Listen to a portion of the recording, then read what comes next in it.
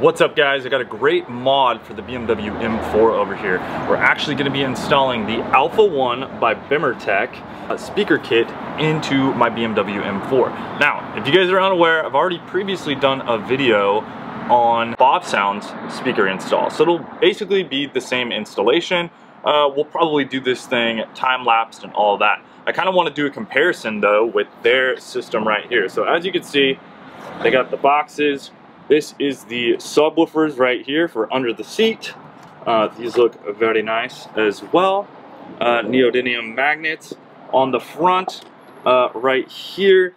And that's kind of how this design works right there. Oh yeah, these things are cool. Um, all the clips are going to be OE style factory stuff. I will say, first off, let's go over all the boxes and what's inside. Then after that, we'll get it slapped into the BMW M4 and see how this stuff sounds and performs in comparison to the BAVSOUND stuff. Now, this car originally did have a Harman Kardon stereo system and the BAVSOUND was a huge upgrade over that. So I'm excited to see what AlphaOne can do.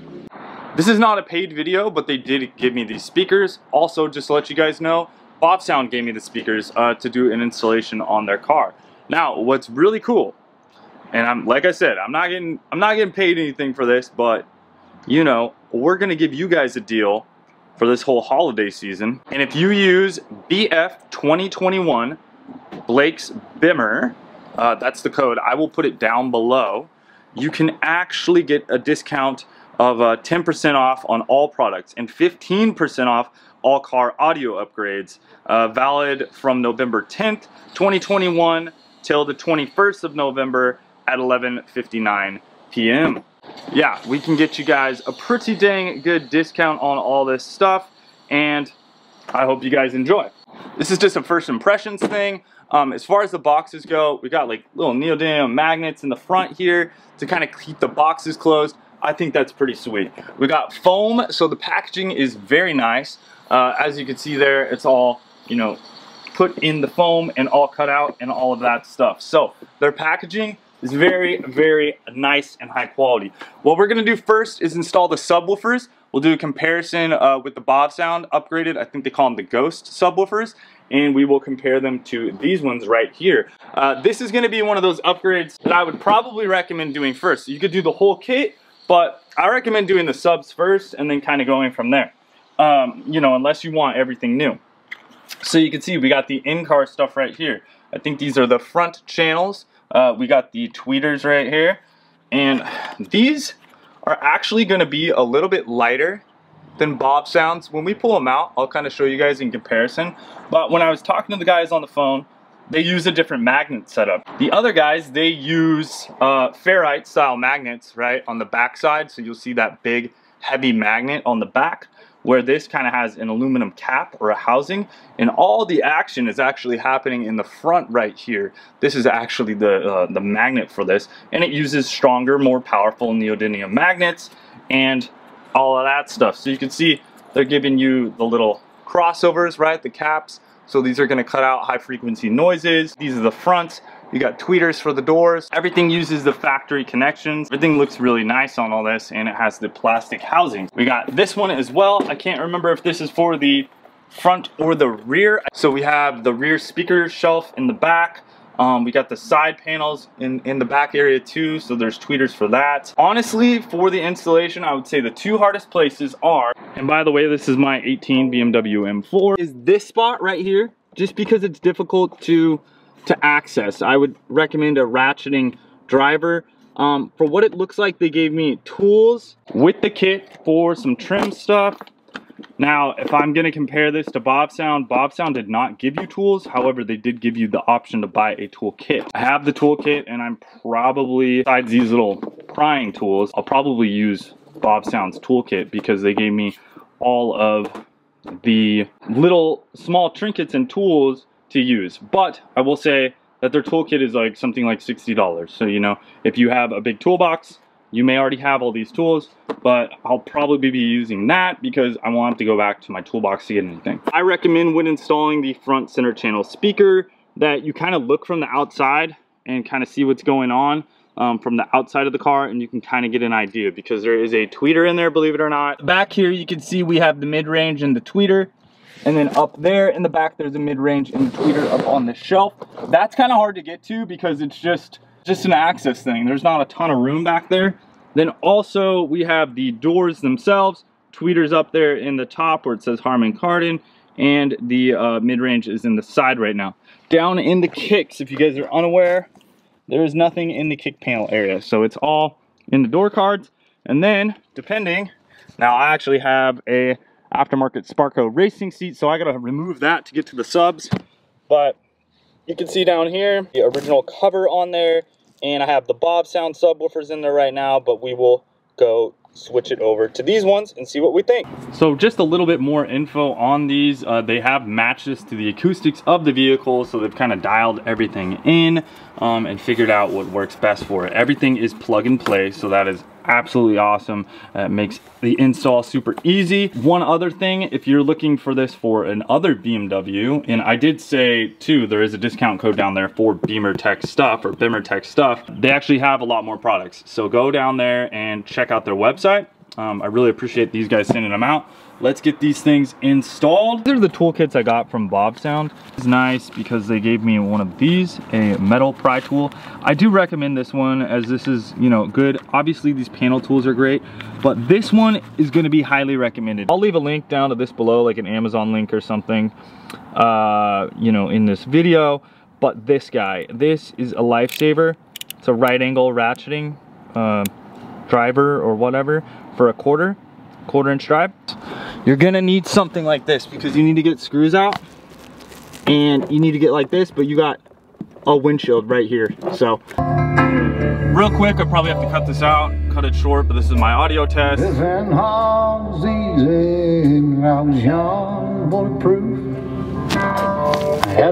And this is where my audio is at. I'm gonna leave it about midway right there. So I have to say, the BAVSOUND sounds pretty damn good. Um, nice highs, the mid-range and the lows are much more uh, punchier and tighter than the uh, stock setup. Uh, the bass is louder as well. I would highly recommend this already. Uh, pick up the BAVSOUND installation kit. It's amazing. It's a great toolkit just to have in your um, in your BMW for whatever. Like literally you can repair so much stuff with a tiny little toolkit. I know most people aren't gonna do this. Most people aren't even gonna do this install, but I just kind of wanted to show how easy the subwoofers are to do real quick.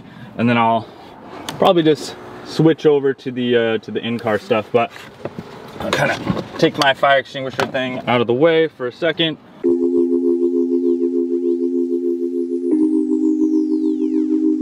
I would just rock it back. You can rock it back and gain enough access. You don't actually have to remove the chair out of the car. It's a T20 Torx, so take off all the screws.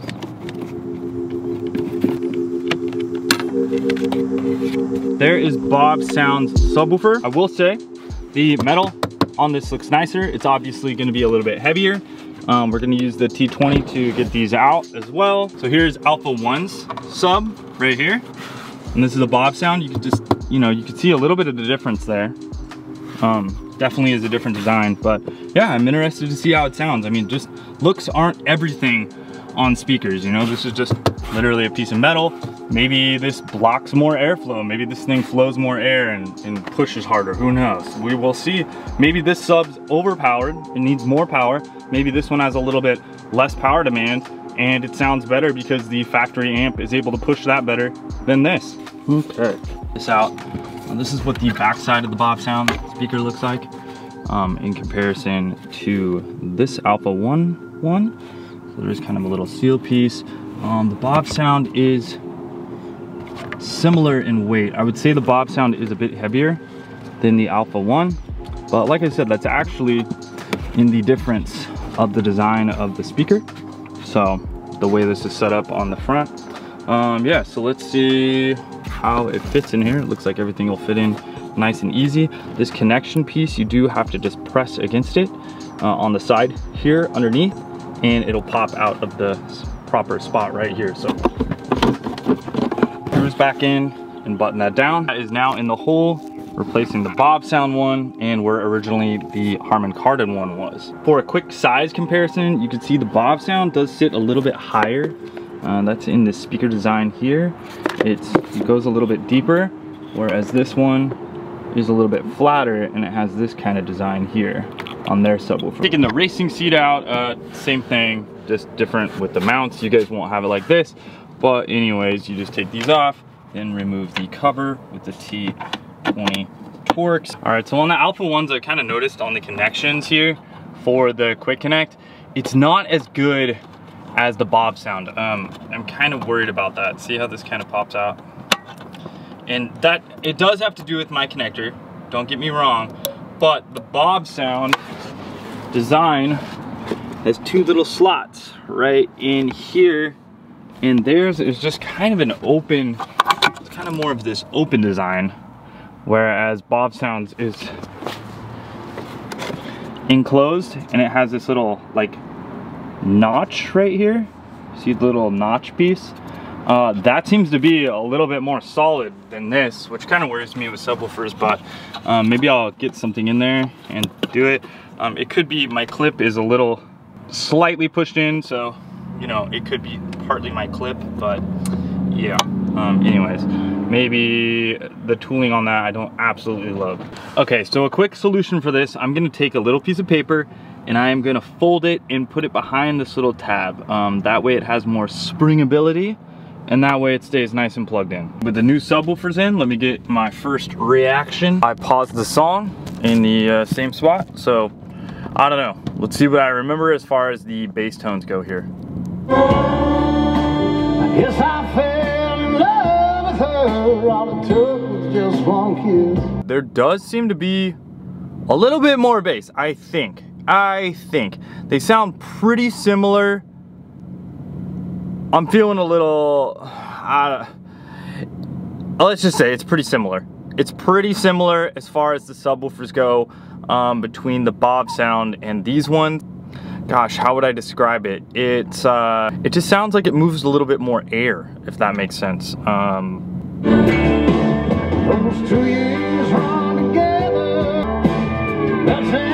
so basically my impressions on this are, they sound good.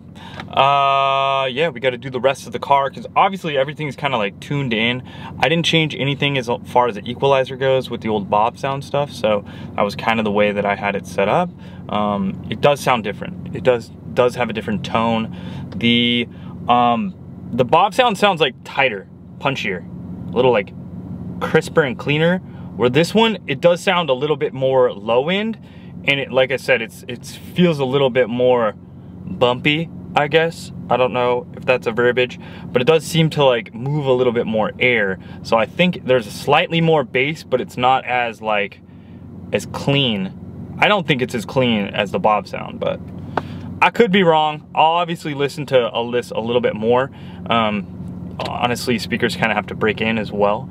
So there's that also, but I want to feel it with the whole system set up and then I'll kind of let you guys know from there. It is sealed. I just noticed. I just noticed uh, speakers are sealed on the backside with a nice piece of foam. So that is a nice little touch there. I like that.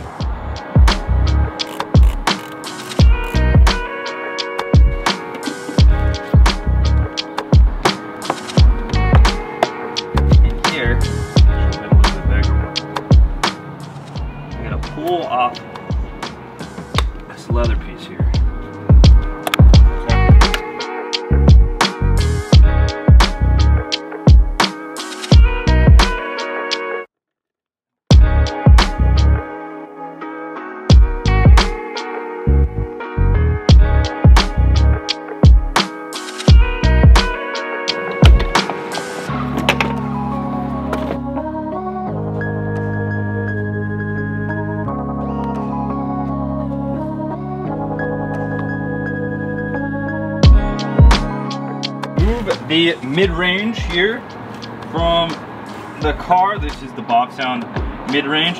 As you can see here, here's the AlphaOne. So the AlphaOne does come with foam as well. Hush mat, I guess. Same stuff.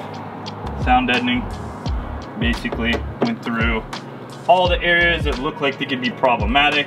It's a pretty big crossover. Tweeter right there from BAVSOUND. So kind of did all that stuff went a little bit extra on the initial install. I do recommend you guys doing that if you're in here for the best audio experience. So something you will notice here, you do see the AlphaOne through there, where with the BAVSOUND stuff, you didn't really see a cool looking speaker. That thing does look pretty sweet in there. Uh, I do have to say the tweeter also looks like something a little different. Um, the BAVSOUND one did have a very nice look to it though, with that nice bezel, but you can see that through there also. It'd be cool if one of these companies, you know, actually gave you like a piece to cover this up, the Harman Kardon or whatever you got. But yeah, not too shabby, pretty easy install on the doors.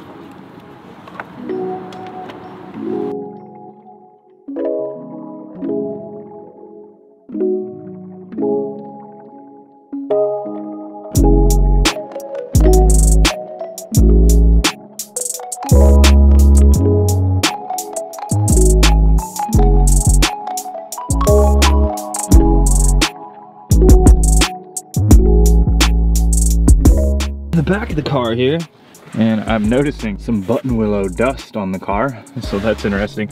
I literally I never sit back here. I think I've had maybe two people sit back here before. So yeah there's the back seat in the M4 want to know something crazy?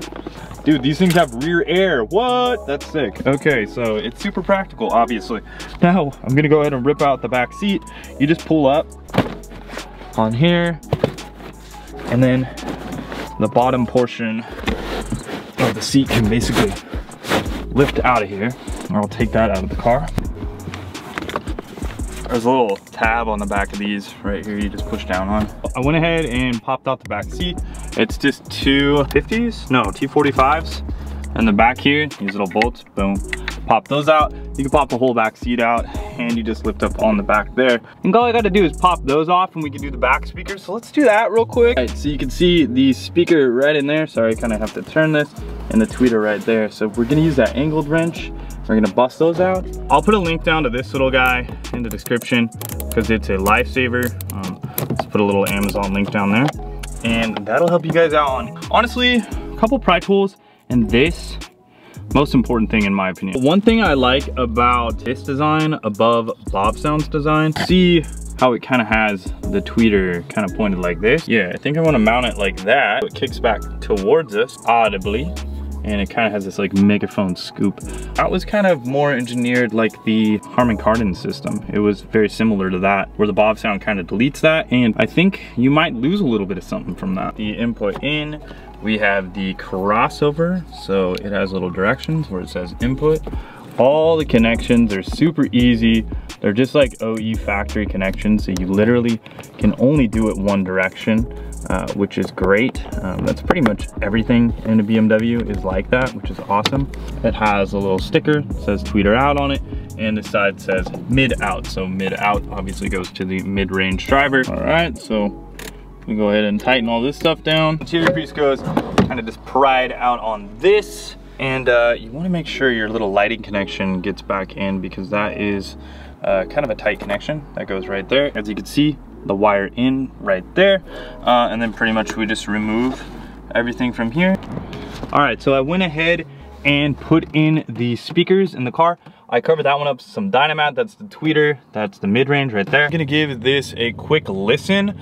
Um, because it's copyrighted music, I'm kind of going with like the same song that I was going with before. Um, but I want to basically, so initial impressions here is halfway up the audio scale is where I usually like halfway to honestly three quarter with the BAVSOUND stuff um, till it got about that loud, really. Uh, it sounds much louder, lower in the volume range, which to me means the energy uh, taken by the speakers is more efficient, meaning the Harman Kardon amp in the car is better suited to push these particular speakers. So that is nice. I do slightly feel like the BAVSOUND stuff is underpowered. I think I've even gotten an amplifier error when I was on OBD2 to app and actually saw like a amplifier overload, which means, you know, the BAVSOUNDs are requiring quite a bit of amperage to push the audio out of the speakers themselves. So I think these sound a little bit more efficient. Um, let me get back to you in a second and I'll kind of give you my review.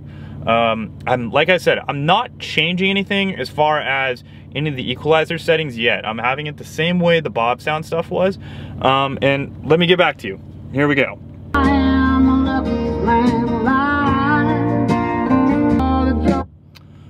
Okay, so real quick, like I was saying the other day, I feel like the subwoofers move more air and I'm actually hearing a bit more of a vibration in the car, which is good. That means I think there's slightly a bit more bass.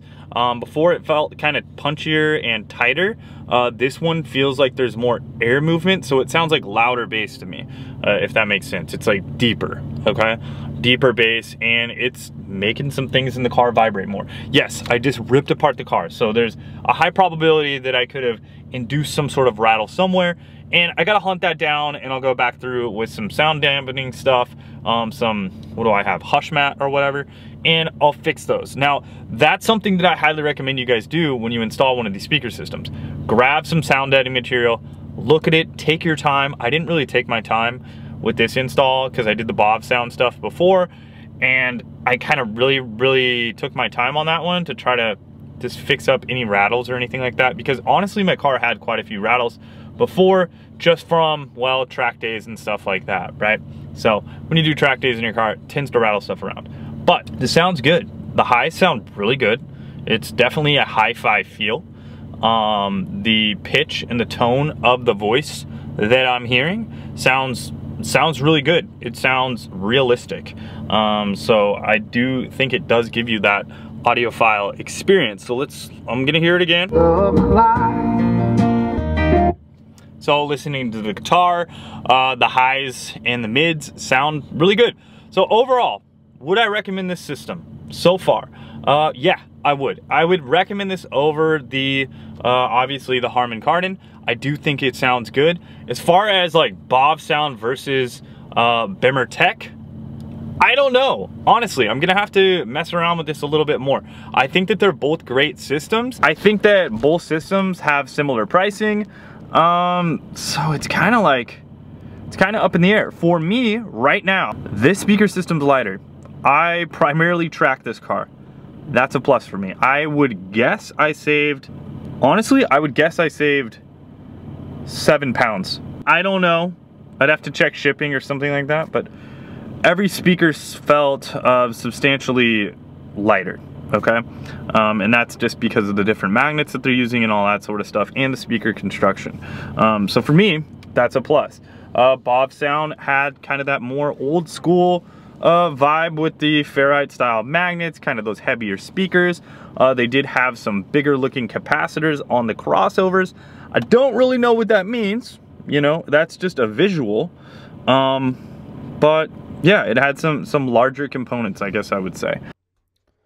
So overall, I hope this helps you make a decision. Um, my final decision is that both these speaker systems are good. Um, both of them have a slightly different tone. I'm gonna say that the BAVSOUND is a little more rich, where these are a little bit more metallic, if that makes sense. But also, I do feel that these are a little more efficient, and the BAVSOUND needs a little bit more amplification to really shine. I do think that the car would benefit from an aftermarket amplifier with the BAVSOUND stuff, whereas this does really well with the Harman Kardon system uh, for pairing. So overall, I think both systems sound great. I'm really impressed with both. Uh, a huge upgrade over the Harman Kardon, in my opinion. I mean, the Harman Kardon system actually does sound pretty decent, but there is some room for improvement, and these speakers are of better quality with both brands. So overall, I'm, you know, kind of saying it's up in the air, man. I wish I had two cars that I could put side by side jump in with the same song and literally go back and forth. Uh, but with having about two or three hours in between, it's hard to say. They both sound absolutely great. Um, so, yeah, this is a good option. Basically, I recommend it if you're leaning on this way. Uh, check out that Black Friday deal because you guys can get a great deal on it. Thanks for watching, guys. We'll talk to you soon, later, and wrench on.